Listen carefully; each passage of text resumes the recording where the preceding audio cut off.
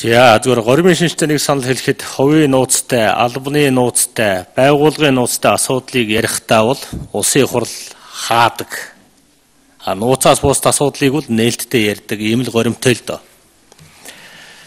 Тэгэхээр уг нь бол би нийтийн сонсгол явуулъя. Нийтийн сонсголд хоёр хэлбэр байдаг.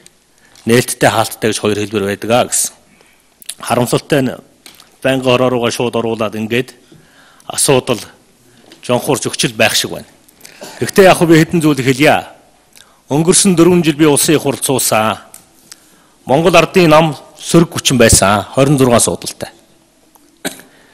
Монгол ардын намын гишүүдээс гардаг ганц шүүмжил бол хууль хяналтын байгууллага биднийг дарамтлаад байна л гэдэг байсан. Тагнуул дарамтлаад байна. АТГ дарамтлаад байна. Арчилс нам хууль хяналтын байгууллага хүч төр дарангуйлал тогтоогод хэлмэгдүүлэлт хийгээд байна гэдэг байсан. Тэгээд үнэхээр би одоо өнөөдөр энэ хурцгж Батын хурцгдаг хүн тухайн үед авилгатай тэмцэх газрын дэд дарга нь байсан. Тагнуулын дарга байсан. Хэрвээ Монгол ардын нам өмнөх 4 жил ярьж исэн юм чи худлаа бол Батын хурцаас уучлахгүй. Та нар сөрөг хүчин байхдаа Батын хурц АТГ тагнуул чагнаад өгдөг байсан. Ордонд юм ярьж болохгүй нэгдэг байсан. Хэрвээ тэр чин худлаа юм бол уучлалгүй. Энийг би одоо Монгол Ардын намынханд хэлье. Юу ч болоогүй юм шиг одоо ингээл хэв нэг зүгээр сууж байна. Ер нь энэ тагнах чагнах асуудлын тухай болдог шүүний ярьж байгаа үнэн шүү дээ. Ганбаатар гэдэг нэр дэвшигч ерөнхийлөгчийн сонгуульд нэр дэвшсэн бичлэг нь гарсан. Солонгосуудаас мөнгө авч байгаа гинэ гэд бичлэг нь гарсан. Энэ хаанаас хэн хийгээд байдгийг бэ? Хүрсүх гэдэг хүн Хэрогийн Баатартай ярьж байгаа бичлэг нь гарсан. Хэн хийгээд байдгийг бэ? Нөгөө аархал мархал юу ч үлээ баахан бичлэгүүд. Мэдээж технологи хөгжсөн учраас хэн хийж байгааг хинч мэдэхгүй бах. Гэхдээ тагнуулын ерөнхий газар хяналтаа тавих хэрэгтэй юм аа.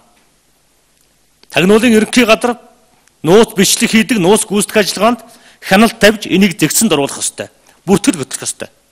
Энэ дээр хурц дарга надад нэг хариулт өгөөч. Энэ юу н хяналтаас гарч чад байна уу? Энэ дээр ямар бодлого явуулж яасан юм бэ? Энэ дээр надад нэг хариулт өгөөч. Хоёрдугаар Дамирингийн их хотыг Франц Германаас хил дамнуулан Монголын хэд хэдэн тагнуулчид явж гүйцэтгэх ажлын хүрээнд тусгай ажиллагаа явуулж авчирсан. Зоригийн хэрэгт холбогдуулж. Тэр хүн зоригийн хэрэгт холбоогүй болох нь гурван шатны шүүхээр сүүл тогтоогцоо.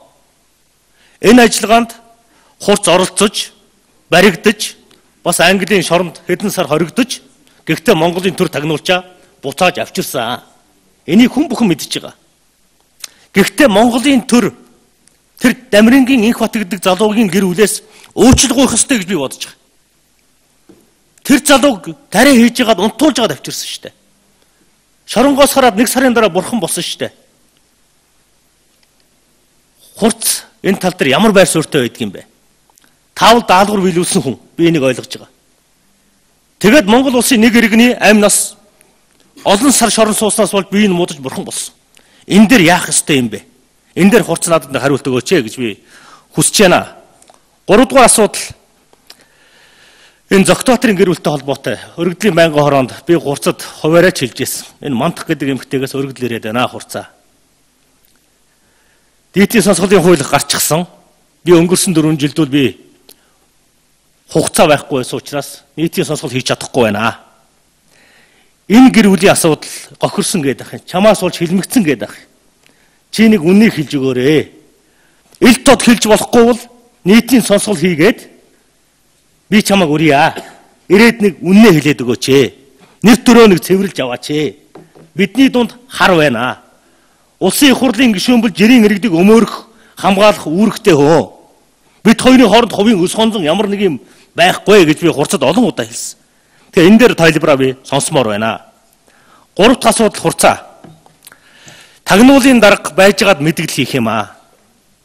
Нямдор 42 сая доллар Эрдэнтээс идчихсэн гээд анх хоёр гэдэг хүүхдийн холбож ярих юм аа.